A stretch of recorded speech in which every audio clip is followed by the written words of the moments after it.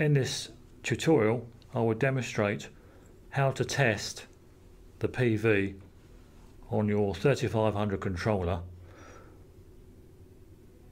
to diagnose whether the input is still working or whether you have a faulty test probe. And this particular instrument you will see sensor break come up on the screen S.BR. To test the thermocouple input on the controller we first need to unpower the unit.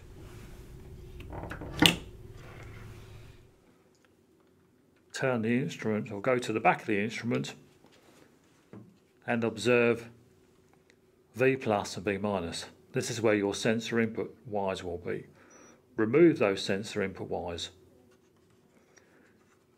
and take note of the position of the wires as one is positive and one is negative. Use a shorting link and put a shorting link between V plus and V minus.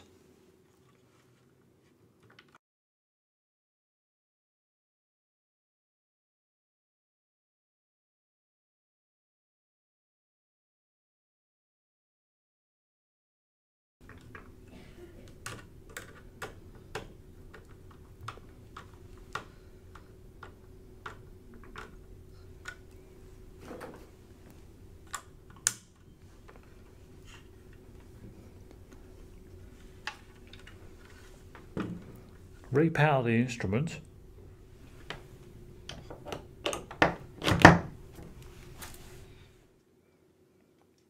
after restarting you will notice the instrument should have the room temperature.